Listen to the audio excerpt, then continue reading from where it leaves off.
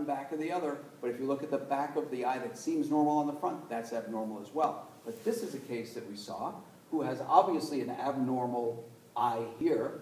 If we look at the other eye, we can see here their K max is about 66 diopters in curvature, and uh, their asphericity value is prolate at 1.25, so an E value of plus 1.25. And we can see the location of the maximum elevation on the front and back, and the thin point, how they agree, as I've been showing you. But there's their other eye. Now, one might argue, ooh, it's a little bit steeper down here, but believe me, if I didn't see anything, I would consider that normal. Surely the elevation is blatantly normal. There's nothing abnormal. And the pachymetry, in terms of both the magnitude of the thinnest point and its location, perfectly normal. So this is the other eye. I consider this, at least with this technology, to be a unilateral case. We've been following this patient. They've had no progression. So uh, that's probably the steepest cone or the most elevated cone I've ever treated. Um, that's a cone, right? So I don't know, I forgot to go ahead and measure this for you, but it, it's pretty deep. So this is a guy who was, uh, came in after going God knows how many other places and said, everybody wants to do a transplant. I don't want to do a transplant. I said, well, I'd probably look at you and say, do a transplant, but you absolutely don't want to do a transplant. We ended up fitting him with, you know, a large diameter 18 millimeter scleral lens. We were able to actually fit this guy, and he was able to get 24 days plus acuity in that eye. The other eye was a little less involved, and he was somewhere between 25th and 30th, and has been happy ever after. But if we look at the actual um, 4 Maps Refractive, pretty amazing stuff. The steepest part of his cornea, 103 diopters of curvature, and the thinnest part is 93 microns. So we didn't even speak loudly in front of his eye. but uh, it's a pretty wild case.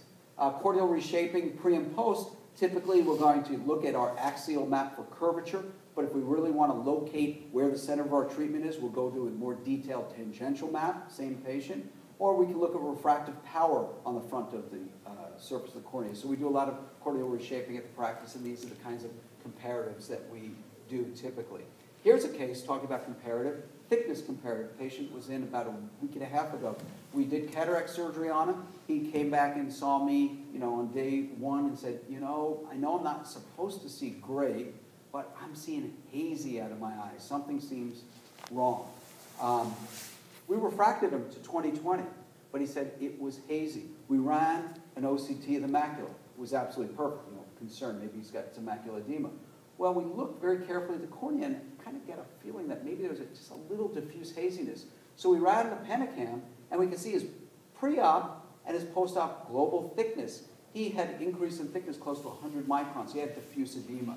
Now, you know, we put him on some more hypertonics. He stayed on his steroids and his antibiotics, and within the next five days, he cleared up perfectly. So we see that again, not commonly, but surely not unheard of in postoperative uh, cataract surgery that gets some diffuse edema that'll just be transient and go away. But he was very concerned. He thought something happened to the bit inside his eye or had an infection or whatever. And here we said, no, it's just a little bit of thickening of the cornea. It's going to be transient. You're going to be fine. And lo and behold, it was fine.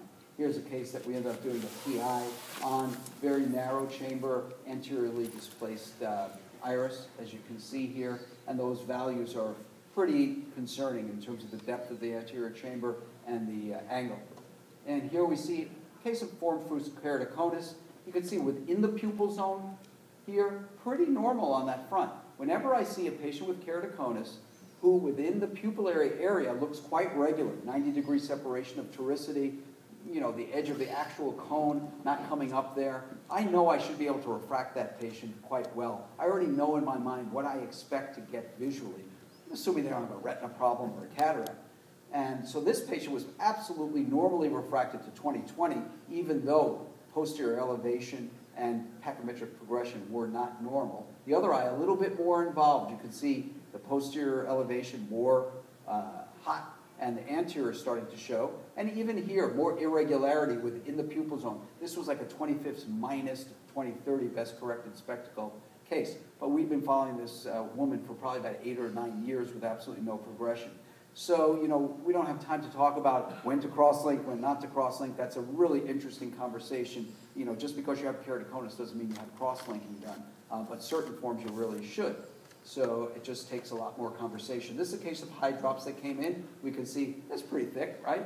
Right in there, and actually thinned out here inferiorly. And look at that reflection in the densitometry. If we look at the thickness profile map, it's very thin down here, but amazingly thick up into the upper 700s as you get to that thickest part of that hydrops eye.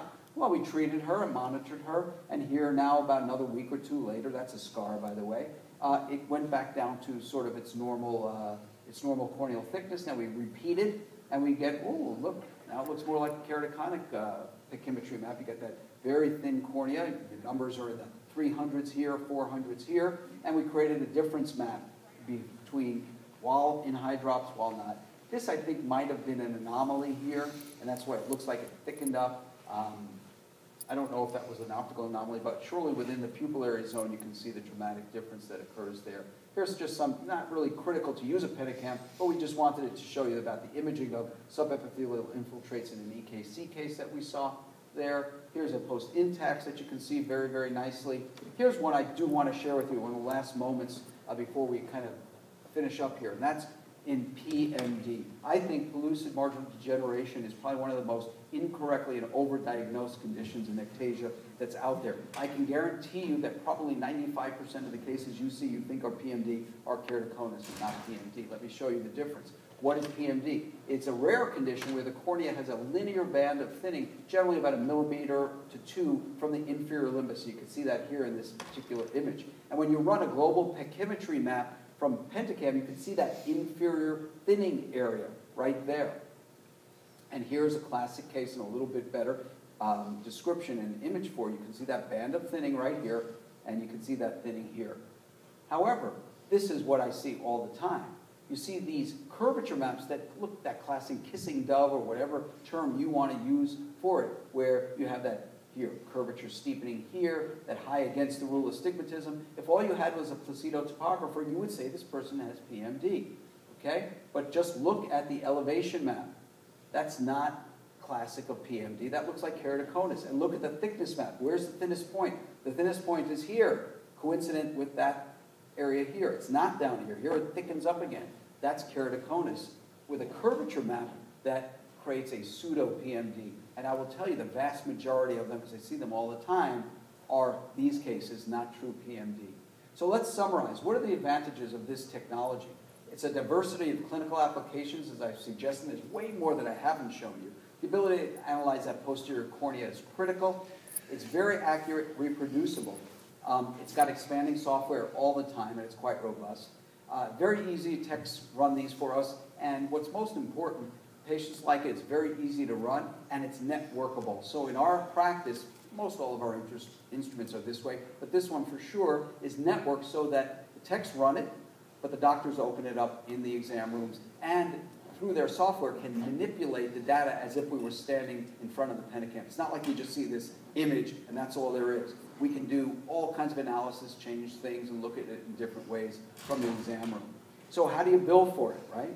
Uh, this is where it gets a little shady, and I'm not telling you to do this. I'm just saying these are some thoughts that I've heard out there. Of course, you can bill it as corneal topography if you have the right diagnosis code, and in 2012 we get 40 some odd dollars from Blue Cross Blue Shield.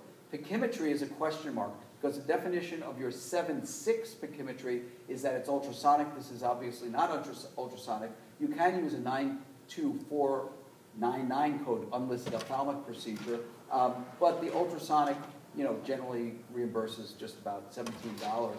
Um, and again, can only be done once in a lifetime for a patient for glaucoma, but if you have certain corneal conditions like keratoconus, like fuchs dystrophy, even Guttata endothelial disease, you can do that once a year. Some of the uh, insurance companies will, uh, if you have a diagnosis of edema, let you do it much more frequently as well and bill for that. Of course, these are anterior segment external images, 92285, unquestionably, and they meet the criterion of helping you diagnose and manage and look for change over time. So this is a no-brainer. So we use this code, we use this code occasionally. Here's a question mark. You know, gonioscopy theoretically is putting a lens on the eye. You know, I know people who utilize the regular gonioscopy code with Pentacam and with anterior segment OCT and others, um, but that's surely a question mark. And we also utilize it as part of our contact lens diagnostic evaluation patients with contact lens where they get a Pentacam every single year. Okay, we're looking at the shape of their cornea. Now, that's not billable to insurance typically. That's part of their out-of-pocket contact lens diagnostic uh, procedure fee. that they get at the office. So I hope I was able to enlighten you a little bit and kind of give you a little feeling about the uh, technology. And I'll hang out for a couple of questions if you want, but I thank you very much for your attention.